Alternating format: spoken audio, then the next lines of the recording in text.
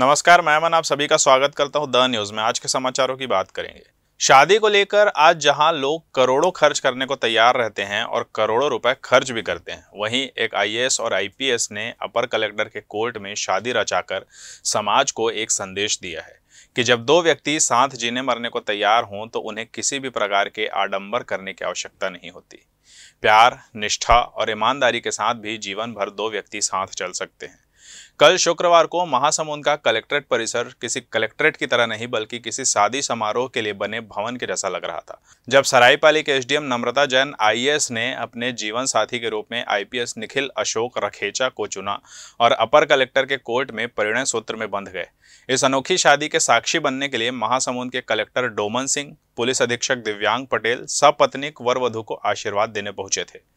इस शादी में वर वधु के परिजनों के अलावा कलेक्ट्रेट में काम करने वाले कर्मचारी उपस्थित थे। बिना किसी पंडित, बिना मंत्रोच्चारण के यह शादी अपर कलेक्टर सुनील चंद्रवंशी के कोर्ट में कानूनी प्रक्रिया से पूरी कर दी गई। ज़्यादा कुछ नहीं था। कोविड के प्रोटोकॉल्स का पालन करते हुए नियर एंड डियर वंस के साथ अपनी कलेक्ट्रेट में शादी कर ली। हमने भी सोचा था कि हम सोशल वेडिंग ही करेंगे, लेकिन कोरोना की वजह से पूरा माहौल बदल गया तो हमने आके अपने नियर एंड डियर के साथ शादी कर ली। नहीं, ये पर्सनल चॉइस है, मैं उसको लेके कोई कमेंट नहीं करना चाहती हूँ। आज जो है अनुभागीय अधिकारी राजस्व जो सराईपाली में पदस्थ हैं, सुश्री नम्रता जैन, आई एस दो हज़ार उन्नीस बैच की हैं।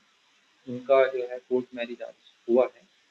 और उनके जो वर हैं, वो आईपीएस बैच 2019 के हैं, निखिल अशोक कुमार, राखी राखीचा और संभवतः कोविड के अभी जो प्रोटोकॉल्स हैं, उनको ध्यान में रखते हुए सादगीपूर्ण विवाह को ध्यान में रखते हुए कोर्ट मैरिज उनके द्वारा की गई और देखिए, कोर्ट मैरिज भी जो है, कानूनन जो है, एक, क्या बोलते हैं, विधि का, के अनुरूप है।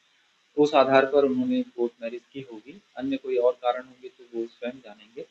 और उनके परिवार वाले जो हैं, दोनों पक्ष के परिवार वाले जो हैं, उनके माता पिता और भाई बंधु उपस्थित